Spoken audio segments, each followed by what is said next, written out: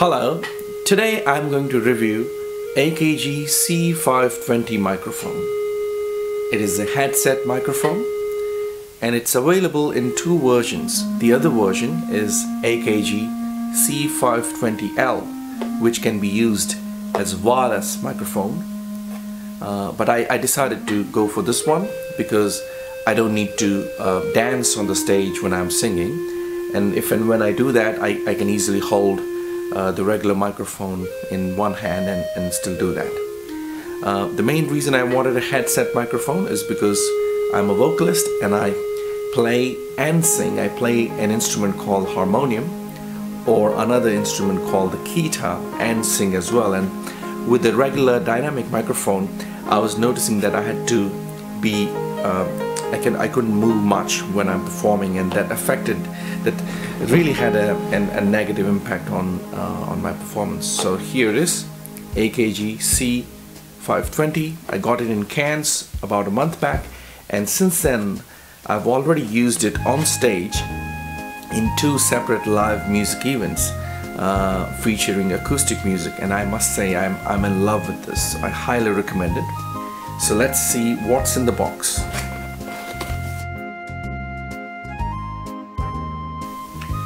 So inside the box you can uh, you will get the microphone with the 10 feet long cable and with a normal XLR uh, connector.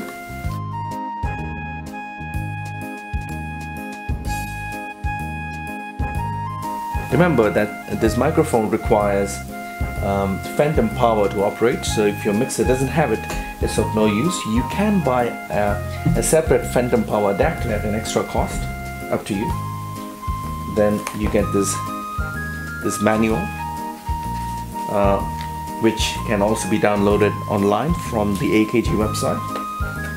And then you get this microphone guide uh, about each and every AKG microphone that you can think of.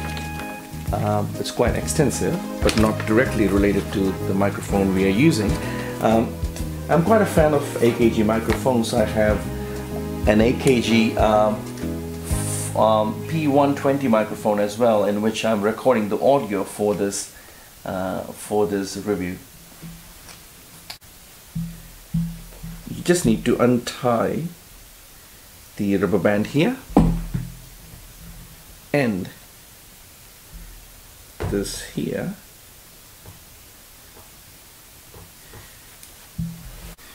So uh, this microphone is of an exceptional quality uh, and it has different parts starting with the microphone itself. Quite a tiny little microphone but very very effective.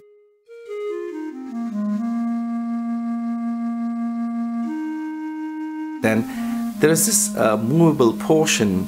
It's the uh, uh, shock absorber and then the uh, steel made microphone arm which is adjustable uh, and the microphone arm holder this one um, by default the microphone comes packaged as uh, as a right-sided fit but you can easily move it to the to the other side as well. Um, there are instructions in the manual for that. And uh, if this is too short for you, uh, depending on the size of your face, uh, you can easily pull the microphone out from the gooseneck here and uh, you know put it back uh, at a position uh, you require. So yeah again again it allows you to adjust the headband around it just like this. You can make it bigger and smaller like that. Um, there is a wire holder here. Okay.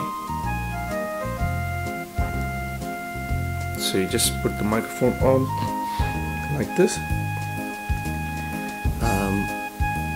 actually you should put the windshield as well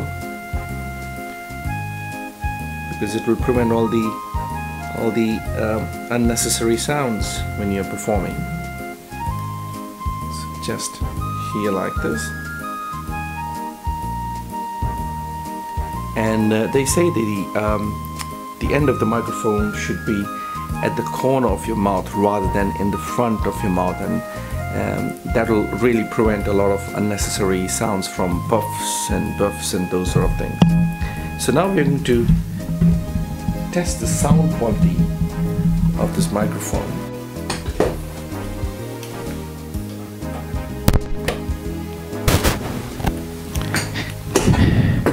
Yeah, um, so I'm a Bollywood singer, so I'm going to go for a Bollywood song first, and then I'll go for an English song.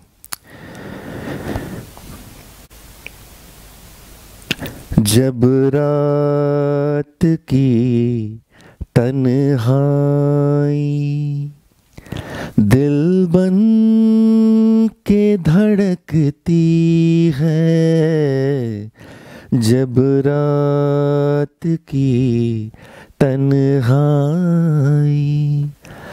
दिल बन के धड़कती है। That was just one of the ghazals uh, from India. And uh, maybe let's uh, sing a couple of lines of an English song.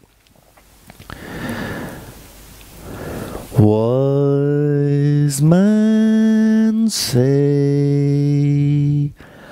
only fools rush in, but I can't